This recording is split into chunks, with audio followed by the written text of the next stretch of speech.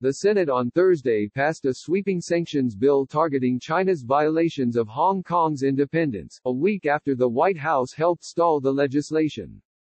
The bill, which imposes mandatory sanctions on individuals, entities and banks that enable China's encroachments through a new national security law, was adopted unanimously after Sens. Chris Van Hollen, DMD, and Pat Toomey, R. PA.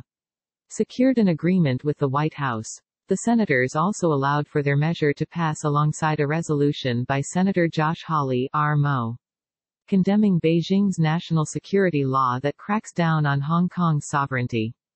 Last week, Senator Kevin Cramer, RND, blocked the sanctions legislation at the behest of the Trump administration, even though he co-sponsored the bill. At the time, the White House had proposed what senators described as last-minute, technical changes.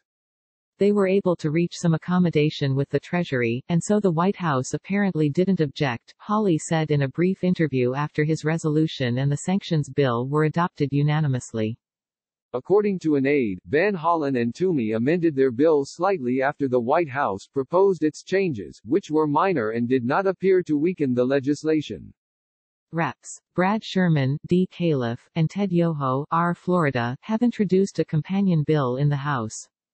The breakthrough came as lawmakers of both parties have pushed President Donald Trump to respond more aggressively to an array of actions taken by China in recent months, from its handling of the coronavirus pandemic to alleged human rights abuses targeting religious minorities in the country's Xinjiang region.